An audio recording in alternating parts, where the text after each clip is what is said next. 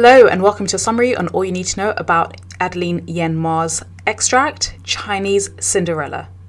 Now, I will read and explain this extract in depth, and the version that I'll be reading is what appears in the Pearson Edexcel International GCSE Anthology. Now, do remember that this is taken from a larger novel, which is an autobiographical account of Adeline Mah's own life. So what I'll do is I will read through the passage and explain the meanings related to the text as well as language devices that you need to be aware of and other contextual factors that you will find helpful as you study this text. So let's get started. Now, as I mentioned, this passage is based on an autobiographical account that Adeline Yen Mah herself wrote about it. So this passage is based on that. Now, to remember that she grew up contextually in a wealthy family in the 1950s Hong Kong, and she would have otherwise had a really enviable childhood. However, she was rejected by her family. Now, remember, the reason for her rejection is because Adeline Yen Mah's own mother actually died after giving birth to her, which was seen as bad luck by her family. Now, her father remarried, and the woman that he married, the stepmother, as well as her father, really mistreated her. They were quite dominating, and they all really despised her because they saw her as a sign of bad luck. And so she was sent to boarding school and left there. So, this extract, taken from her autobiography, relates one of the few occasions when she went home. And of course, you're going to see how she was treated quite coldly. So what I'll do is I'm going to read through different parts of the passage and then explain interesting ling linguistic techniques. Time went by relentlessly and it was Saturday again. Eight weeks more and it would be the end of term. In my case, perhaps, the end of school forever. Four of us were playing Monopoly. My heart was not in it and I was losing steadily. Outside, it was hot and there was a warm wind blowing. The radio warned of a possible typhoon the next day. It was my turn, and I threw the dice. As I played, the thought of leaving school throbbed at the back of my mind like a persistent toothache. Adeline, Mother Valentino was calling. You can't go now, Mary protested. For once I'm winning. One, two, three, four. Good. You've landed on my property. $35, please. Oh, good afternoon, Mother Valentino. We all stood up and greeted her. Adeline, didn't you hear me call you? Hurry up downstairs, your chauffeur is waiting to take you home. Full of foreboding, I ran downstairs, as in a nightmare, wondering who had died this time. Father's chauffeur assured me everyone was healthy. Then why are you taking me home? I asked. How should I know? he answered defensively, shrugging his shoulders. Your guess is as good as mine. They give the orders and I carry them out. Now, what this opening does is it really sets the scene for us. We realize, of course, from very early on that she feels a lot of fear. She's quite fearful, quite anxious. And of course, as we read through the passage, we realize the reason for her anxiety. She's very excluded by her family and she's quite mistreated by them.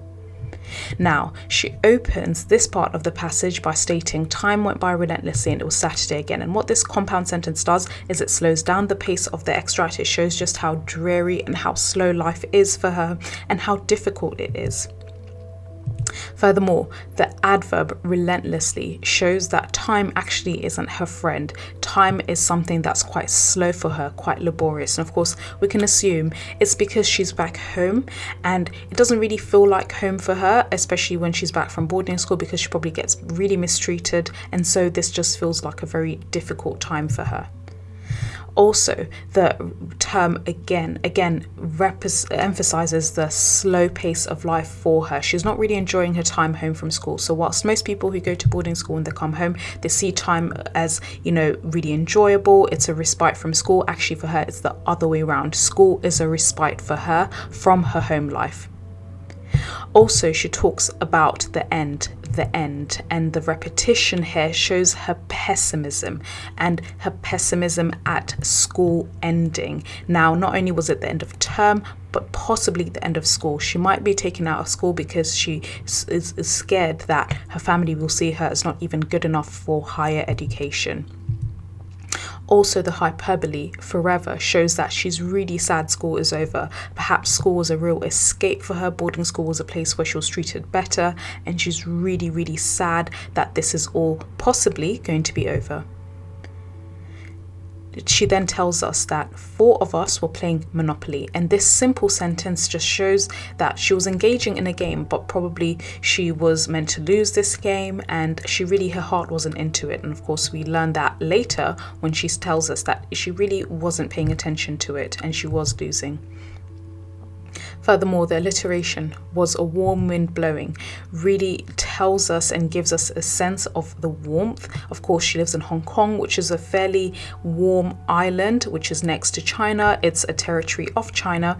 So, this gives us an idea of the atmosphere we then get the idea that there could be possibly a typhoon the next day. This is when there's a lot of wind and it becomes a very, very dangerous kind of typhoon. And this perhaps could be symbolism of how she feels internally. So maybe once she learns that she might be taken out of school, she will also feel the same kind of sadness, but also the same kind of turmoil internally. Furthermore, she mentions how school, given that she might be taken out, this thought was like a persistent toothache in her mind. This shows that she feels persistently anxious and fearful of being taken out of school at any moment. Furthermore, the exclamatory sentence Adeline, this direct speech now shows us the voice of her stepmother. We get the sense that her stepmother is quite harsh, very uh, brutal when she speaks to her. She speaks to her perhaps like someone who is not really worth any kind of uh, emotion. She's not someone that's worth being pampered or treated kindly. Furthermore, Mary, presumably the stepmother's daughter, states, For once I'm winning. And this highlights to us just how competitive the home environment is. And this probably must be quite exhausting for her. When you go home, you're treated, not only are you treated very miserably, but also you constantly have to compete for your parents' love. Furthermore, the possessive pronoun, which quotes what her sister, or rather her half sister, says, my property, shows again that she is Adeline Mah is really excluded, and her siblings, the ones who are probably treated better, they always emphasize in her face just how she's different to them. They own things that she might not own, and of course, this is still tied just to Monopoly, but actually, probably the game reflects how she's treated also in real life.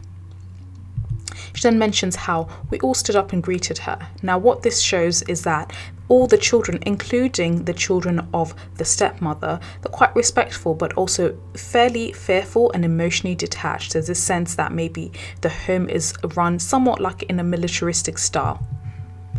Furthermore, the stepmother speaks quite curtly, quite harshly to Adeline hurry up downstairs, and this imperative sentence shows the harsh tone that her stepmother addresses her in. Moreover, Adeline Yen Mah tells us that she felt full of foreboding, and this alliteration shows that she's fearful and she's also used to getting punished, getting bad news, really just being treated quite negatively. Furthermore, when she mentions father rather than dad, this standard English shows how her relationship with her father is very formal, probably very emotionally detached. Moreover, she speaks to the chauffeur, who also talks to her in a quite sarcastic way. The rhetorical question, How should I know? shows that she, Adeline, is always kept in the dark, not only by her immediate family, but even by the servants everybody is perhaps trained to treat her as an outsider and to exclude her because as i mentioned to remember contextually that adeline's mother died after giving birth to her? And at the time it was seen that that meant that she brought bad luck. So maybe even the servants were trained not to treat her kindly also, it's really interesting that the chauffeur says they give me orders, referring both to the father and mother, or rather stepmother, and I carry them out. And of course, the contrast in these pronouns, they, which is third person pronoun, versus I, to refer to the chauffeur himself, first person pronoun, shows the vast social divide that exists between the workers and, of course, the really wealthy family that Adeline comes from. So let's carry on. During the short drive home, my heart was full of dread, and I wondered what I had done wrong. Our car stopped at an elegant villa at mid level, halfway up the hill between the peak and the harbour. Where are we? I asked foolishly. Don't you know anything? The chauffeur replied rudely. This is your new home. Your parents moved here a few months ago. I had forgotten, I said as I got out. Argum opened the door. Inside, it was quiet and cool. Where's everyone? Your mother is out playing bridge. Your two brothers and little sister are sunbathing by the swimming pool. Your father is in his room and wants to see you as soon as you get home. See me in his room? I was overwhelmed by the thought that I had been summoned by Father to enter the Holy of Holies, a place to which I had never been invited. Why? Timidly, I knocked on the door. Father was alone, looking relaxed in his slippers and bath- bathrobe, reading a newspaper. He smiled as I entered, and I saw he was in a happy mood. I breathed a small sigh of relief at first, but became uneasy again when I wondered why he was being so nice, thinking, is this a giant ruse on his part to trick me? Dare I let my guard down? Now, here essentially, we find that she was in a different house. Of course, this is highlighting just how much wealth her family had. And now she's been taken to what appears to be the main house. Again, we now find that there's this exclusion. And do remember that contextually, Adeline, her uh, mother also had other children, and so she's the fifth of five children. And of course, the mother died when she was giving birth to her. So perhaps maybe the other house is where the children of the first wife are being kept, and maybe this house, the main house, is where the children of the step- stepmother reside, in addition to the father and the stepmother. Now, she mentions, during the short drive home, my heart was full of dread and I wondered what I had done wrong. Now, this complex sentence shows just how isolated and alone she feels. Her only interaction with her father is negative, much like her interaction with everyone else that's around her. And this must be such a difficult feeling to live with daily. Also, the premodifier elegant to describe the villa highlights her family's wealth and opulence. And so it's interesting because whilst she lives this opulent lifestyle, she is still excluded from it. She's still mistreated and she doesn't really have this enviable lifestyle that outsiders might assume is quite enjoyable. Also, the adverb foolishly shows that in many ways, Adeline has internalized feeling really silly and very stupid. She doesn't really know anything, she's been kept in the dark. Nobody has informed her of why she's having this journey. However, she doesn't see it that way. She has internalized being constantly told that she's very foolish, very stupid. And also, it's interesting that the chauffeur also reinforces this by saying, Don't you know anything? He replies rudely. So everybody around her treats her as if she's stupid, so she's internalized this. And the chauffeur answers, This is your new home. And so it's really interesting. These monosyllabic words show that she's excluded even from family decisions. She doesn't even know where her dad lives, right? So this is the first time that she's seen where he lives. Now, she, the chauffeur tells her about what all her half sisters and brothers are doing. Of course, again, she's excluded from this. Now, she the semantic field of family here your mother, your brothers, little sister, father. This semantic field of family shows that she's excluded or a black sheep, and black sheep is just a metaphor to describe somebody who's an outsider within a group. And of course, here we can see that she really is an outsider, whilst all her family members are together interacting, especially the family members that are part of the stepmother's side of the family. She's totally excluded and she, she's kept in the dark. Furthermore, the adverb timidly shows the emotional distance that she feels with her father. So she feels really timid and really terrified when she's about to interact with him. And she goes to his place, and especially his room, which is described as a holy of holies. And she doesn't feel accustomed to being close to him. So that's why she's so scared. Also, she says that she breathes a small sigh of relief, and the sibilance here shows that internally she feels really, really happy that she's not being punished once more. And again, of course, we know that her father seems really happy, but she doesn't quite know why. But again, she can't quite trust his actions because she feels like maybe this might be a ruse, this might be a trick on his part, just to maybe mentally torture her. Furthermore, the rhetorical question, dare I let my guard down, shows that she constantly feels quite defensive and fearful around her family. She's never been accepted and she doesn't feel like her family sees her in many ways as a human being. So let's carry on.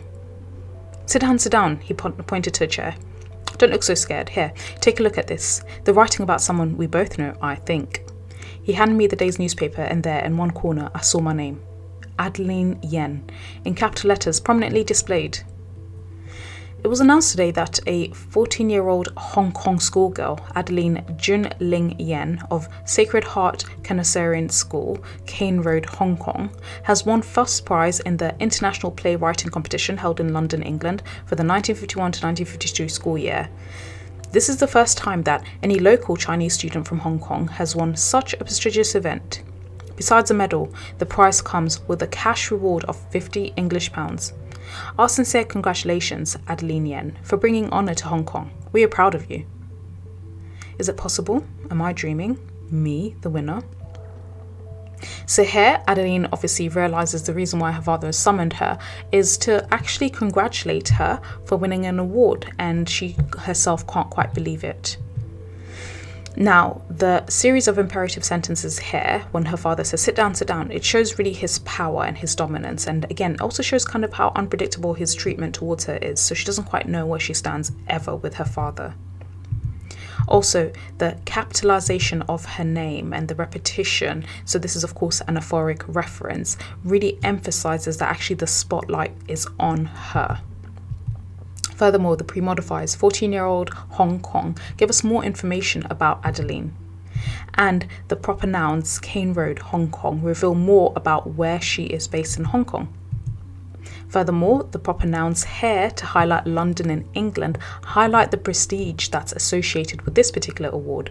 Do you remember that at this time, even if today Hong Kong is technically part of Chinese territory, at this time Hong Kong was classified as an English protectorate, and essentially the English were they had a large presence, they still do to some extent today, um, however, anything also tied to the English people and the English presence was seen as also quite prestigious. So in this instance, this uh, this prize and this competition is seen as very prestigious because it comes from a Western institution. This is specifically the UK. Furthermore, there is the semantic field of winning, medal, prize, and this shows once more just how competitive the family dynamics are. Furthermore, the article says that Adeline has brought honor to Hong Kong, and this alliteration shows, culturally speaking, there's a very, very massive sense of pride that comes with really standing out. So, not only is this competitive dynamic within her own family, but also, I suppose, within the city, we can argue that there's this idea of always competing, always trying to really outshine others. Also, she asks herself a series of rhetorical questions. Is it possible? Am I dreaming? Me, the winner. And this shows the self doubt that Adeline has. She doesn't recognize her talent in writing. She doesn't really know that she is really good at what she does. And of course, this comes from the fact that her own family constantly puts her down. Even the servants in her family constantly put her down. So let's carry on. I was going up the lift this morning with my friend C.Y. Tung when he showed me this article and asked me, is a winner Adeline Jun Lin Yen related to you? The two of you have the same uncommon last name. Now, CY himself has a few children about your age, but so far none of them has won an international literary prize as far as I know. So I was quite pleased to tell him that you are my daughter. Well done. He looked radiant. For once, he was proud of me. In front of his revered colleague C.Y. Tung, a prominent fellow businessman for, also from Shanghai, I had given him face. I thought, is this a big moment I had been waiting for? My whole being vibrated with all the joy in the world. I only had to stretch out my hand to reach the stars. Tell me, how did you do it? he continued. How come you won? Well, the rules and regulations were so very complicated, one has really to be dedicated just to understand what they want. Perhaps I was the only one determined enough to enter, and there were no other competitors. He laughed approvingly. I doubt it very much, but that's a good answer. Please, father, I asked boldly, thinking it was now or never. May I go to university in England too, just like my brothers? Now, here, of course, the relationship between her and her father is really emphasized. It's almost non existent. It's very formal. It's very much based on his negative view of her. So he probably sees her as a cursed child. She doesn't have any talent. And now we start to see that she herself has realized she doesn't have any talent, but for some reason she decided to just submit her writing to this competition and won. But she also herself doesn't quite believe that she's won. Now, her father mentions that it's his friend who also is very accomplished that showed it to him, and he has children, and he highlights none of them has won. And what this shows is the father is very competitive. He's focused only on gaining prestige and looking really good in front of his other successful colleagues and friends. And of course, in this case, it's C.Y. Tung, who's also a really successful businessman. So the father is really seeing Adeline as only useful insofar as looking good because now she's won a prize and outshined his own uh, children from the competitor. Also, the premodifier International again highlights the prestige attached to winning a Western style prize. Moreover, the exclamatory sentence, well done, this appears to probably be the only positive feedback that Adeline has gotten from her father, and she's probably not used to it. She notes that he looked radiant, and this shows her father's love is conditional on achievement. In other words, a lot of people always emphasize the importance of parents having unconditional love in their children. However, in this case, her father makes it really clear that the only reason why he now kind of acknowledges Adeline in a positive way is because she has achieved something. And probably that's why he has a very competitive family because he makes it clear to all his children that he'll only love them and look after them and care for them if they are achieving things. Moreover, the adjectives and premodifiers revered, prominent to highlight how he saw C.Y. Tung, the other businessman. They show how the father really focuses on external appearance. He only associates himself even with people who are revered and prominent. Moreover, Adeline says that I had given him face, and this refers to something called face saving, the idea of reputation, how you look externally to others. And this, of course, reveals that reputation is so very important to her father.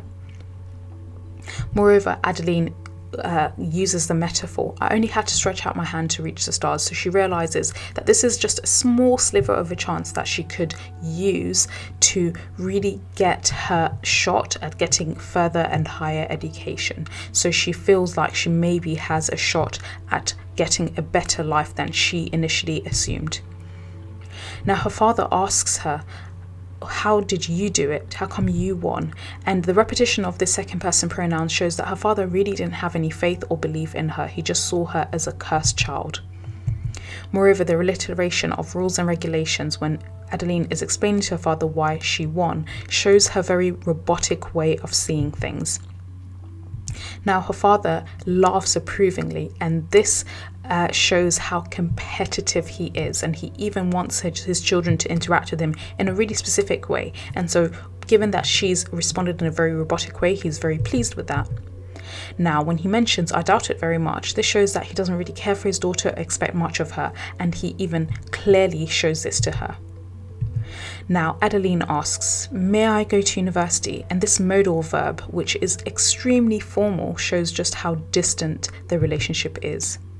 Moreover, when she says, like my brothers, this shows that her brothers are benefiting from a Western education, they're getting even higher education, so university, but she's treated differently. So, of course, if you remember at the beginning of the passage, she was really scared about the end of her education. It seemed quite likely, maybe to her, that she might not get any formal education beyond school. So she's trying to see if she can claw her way back into her father's good books and get at least a university degree. So let's carry on. I do believe you have potential. Tell me, what would you study? My heart gave a giant lurch as it dawned on me that he was agreeing to let me go. How marvellous it was to simply be alive. Study, I thought. Going to England is like entering heaven. Doesn't matter what you do after you get to heaven. But father was expecting an answer. What about creative writing? After all, I just won first prize in an international writing competition. I plan to study literature. I'll be a writer. Writer, he scoffed. You're going to starve. What language are you going to write in, and who's going to read your writing? Though you may think you're an expert in both English and Chinese, your Chinese is actually rather elementary. As for your English, don't you think the native English speakers write better than you? I waited in silence. I did not wish to contradict him. You will go to England with third brother this summer, and you will go to medical school. After you graduate, you will specialise in obstetrics. Women will always be having babies. Women patients prefer women doctors. You will learn to deliver their babies. That's a foolproof profession for you. Don't you agree? Agree? Of course I agreed. Apparently, he had it all planned out. As long as he let me go to university in England, I would study anything he wished. How did that line go in Wordsworth's poem? Bliss was that in dawn to be alive. Father, I shall go to medical school in England and become a doctor. Thank you very, very much. Now, in this part of the passage, she actually learns that maybe her father will accept her going to get further education. And the declarative sentence shows that her father's opinion has changed after she has been celebrated by others. So he says, I do believe you have potential. Now, we learned that her heart gave a giant lurch. So, of course, the personification of her heart shows that Adeline can't quite believe it. She feels almost like she's won the lottery that her father has actually agreed to send her to study, not only to go to university, but actually to study abroad in England. Furthermore, that her internal dialogue study, I thought, shows that she just can't quite believe her luck. She initially probably thought that she'll never even get the chance to go to university, but she now can't believe that not only will she go to university, but also to England. Furthermore, she highlights and emphasizes just how much prestige there was in studying in England by saying that going to England is like entering heaven. And this simile shows how highly she values a Western education and especially a Western education in somewhere like the UK, which really um, had a lot of political control at the time over Hong Kong. Also, the declarative sentence here, when she says, I'll be a writer, actually foreshadows her future career as a very successful and award winning writer. But of course, at the time, she didn't quite think that she had that kind of talent. Her father, of course, scoffs at her dream, and this verb is quite degrading. It shows just how harsh he is towards her.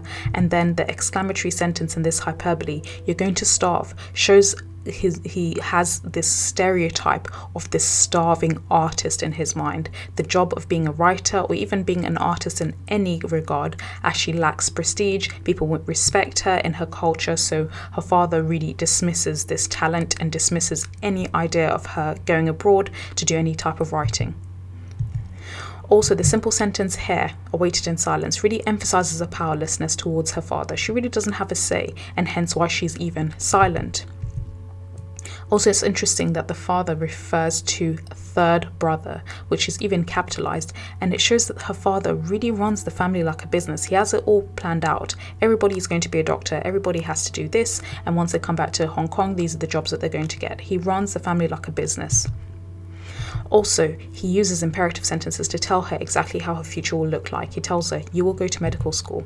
And he uses medical jargon to tell her specifically what she is going to specialize in.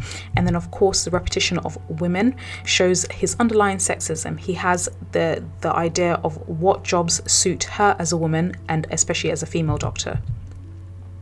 Now, Adeline says, agree? Of course I agree. And this is hyperphora. Hyperphora is when you ask a question and answer it uh, directly after. And of course, this shows her internal dialogue. And she's really happy to be going abroad. Also, she says, how did that line go in Wordsworth poem? Bliss was that, it was it in that dawn to be alive. Now, again, this is hyperphora. She asks a question relating to Wordsworth's poem and then answers it. And of course, this shows just how much love and avid interest she has in literature. It never really leaves her. Furthermore, the modal verb here again highlights the very robotic and emotionally distant response that she has when she's interacting with her father. And then she responds by saying, Thank you very, very much. Again, the repetition of these intensifiers show that she's so grateful for him showing any kind of help and any kind of interest in her further education. So that's all. If you found this video useful, please make sure you visit our website, which is www.firstratetutors.com. There you'll find lots of study materials that will help you in this and indeed other parts of English. Thank you so much for listening.